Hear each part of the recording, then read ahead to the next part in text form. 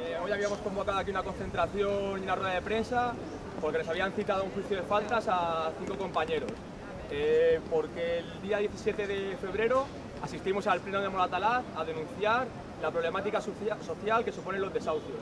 A raíz de, esa convocatoria, el 10 de marzo se presentan en casa de 20 compañeras y compañeros la Policía Nacional y unidades de la Brigada de Información para llevarnos detenidos y detenidas a la comisaría de Moratalaz, acusándonos de un delito contra las altas instituciones del Estado y a cinco de los compañeros por eh, delito de resistencia. Eh, cuando estamos en Plaza Castilla y estamos a la espera de declarar, se nos comunica que se queda en un juicio de faltas.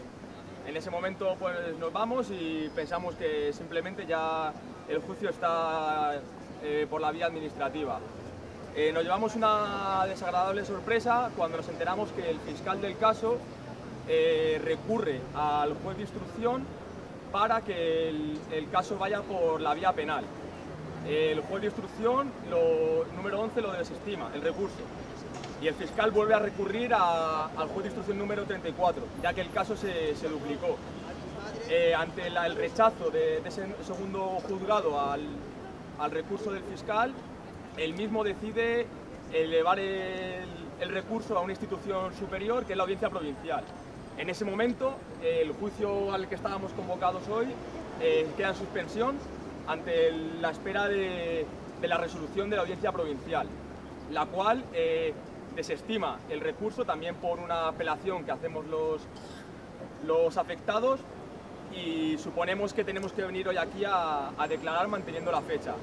Eh, ayer el abogado nos comunica que, que el juicio eh, queda se suspendió y estamos a la espera de una nueva notificación eh, para el juicio de, de faltas. Lo destacable de esta situación o de este caso es que el fiscal del caso, que representa en este caso al, al gobierno, ha tenido una especial énfasis en que, la- en que el caso vaya por, por la vía penal, ya que ha recurrido en tres ocasiones para que esto suceda, pese al- a que los jueces de instrucción le desestimaron su, su recurso. De esta situación entendemos, tanto por las formas de las, de las detenciones como se ha ido, ha ido- evolucionando el caso, que es una estrategia por parte del gobierno para que la juventud obrera y combativa eh, se quede en casa muerta de miedo ante la posible represión que pueda tener sus actividades de rebeldía. Quieren mostrarnos un mensaje muy concreto y es que no sale gratis rebelarse contra su injusticia. Desde el Distrito 14 eh, no nos vamos a minalar y vamos a seguir luchando contra las injusticias sociales como son los desahucios o cualquiera que afecte a tanto a la juventud obrera como a la clase obrera en general. No vamos a quedarnos en casa y seguiremos eh, luchando y, en la calle. Eh, muchas gracias.